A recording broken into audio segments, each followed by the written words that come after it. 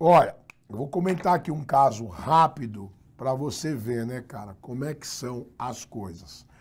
Logicamente que a gente vai omitir aqui nomes, datas, né? Óbvio. E a gente sempre fala as coisas aqui, nunca é no intuito, cara, nunca de humilhar ninguém, constranger ninguém. Mas às vezes a gente fala umas coisas e o aluno não acredita no que a gente fala. Então, olha só. Não faz muito tempo, num concurso da Polícia Civil aqui de São Paulo, no passado, eu tive um aluno que estudou, rapaz, bom, menino bom, bom, bom. Estudou, estudou uns três anos, eu acho, mas conseguiu ser aprovado no concurso da polícia. Ei, passei, professor, beleza. E ele ia ser chamado para fazer as demais etapas do concurso, a investigação social, psicológico, tal. Mas entre a aprovação na prova objetiva, subjetiva, dissertativa e o início das demais etapas, passou um tempo. E nesse período de tempo, cara, o que, que esse menino fez, né? É, coisas da juventude. Então ele resolveu comprar um distintivo da Polícia Civil. Resolveu comprar.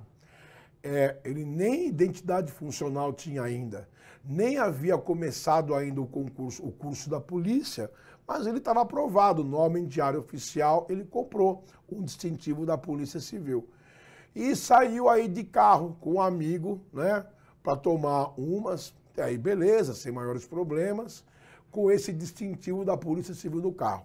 E em dado momento, ele foi abordado por policiais, por guardas municipais. E aí o guarda municipal, é, tá fazendo o que aqui, que não sei o que lá. E aí, cara, vai saber o porquê, né, brother? Puxou o distintivo da Polícia Civil. Não, que eu sou aqui, eu sou da casa, né, pá. Não tem as manhas de falar como polícia, porque nunca foi polícia. O guarda municipal desconfiou daquele tipo de postura do cara e acionou a Polícia Civil mesmo. E foi para a delegacia e viu que ele estava usando o distintivo indevidamente. Beleza? E aí, cara, foi registrado um termo circunstanciado lá.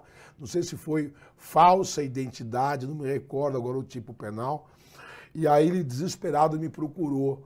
Pô, professor, e agora? Eu falei, irmão, vamos torcer para isso aí não chegar lá na banca chegar depois, né, cara? Mas infelizmente chegou na banca de comissão e ele foi contraindicado, né, para tomar posse. E aí ele, a banca diz a versão dele, orientou nele no seguinte: ó, você tem que ir lá no distrito policial falar com o delegado que lavrou o termo circunstanciado em seu desfavor. Você tem que falar com ele lá. Aqui a banca não pode fazer nada, você está contraindicado. Aí ele me ligou e disse isso. Professor, o que, que o senhor acha? Vou lá falar com o delegado. Eu falei, cara, não adianta. Não adianta. Porque o termo circunstanciado, assim como o inquérito policial e o auto de prisão em flagrante delito, seguem o princípio da indisponibilidade. Depois que isso foi registrado, o delegado de polícia ele não pode é, cancelar, rasgar esse TC, não pode. Esse TC já foi encaminhado lá para o fórum, para o juizado especial criminal. Não! Mas a banca disse que é só ir lá e falar com o delegado, mas não é isso. E ele foi lá conversar com o delegado, lógico, né? Numa última tentativa, e o delegado explicou exatamente isso, né? Princípio da indisponibilidade. Só trouxe esse exemplo aqui por dois motivos. Primeiro, para lembrar você ficar de boa. Vai estudar. Não fica por aí fazendo caca. Vai estudar. Segundo, para mostrar que esses procedimentos eles são indisponíveis. Depois que eles são concluídos, ele segue para o fórum. A autoridade policial não pode fazer mais nada. O que se pode fazer, irmão, né, é a autoridade policial não lavrar o TC. não instaurar o inquérito, não prender em flagrante, porque se o inquérito foi instaurado, o flagrante foi lavrado, o TC foi lavrado, não tem mais o que fazer.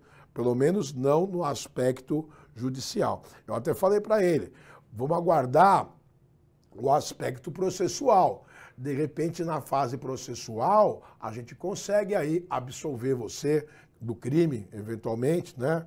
E aí eu perdi o contato com o rapaz, acho que ele ficou triste, né, cara, com, a, com o desfecho lá. Eu nem sei se ele conseguiu, no final das contas, tomar posse ou não, mas volto a dizer, só dei aqui o exemplo para você ver como funciona esse princípio de indisponibilidade e para alertar você a não fazer cacas no carnaval.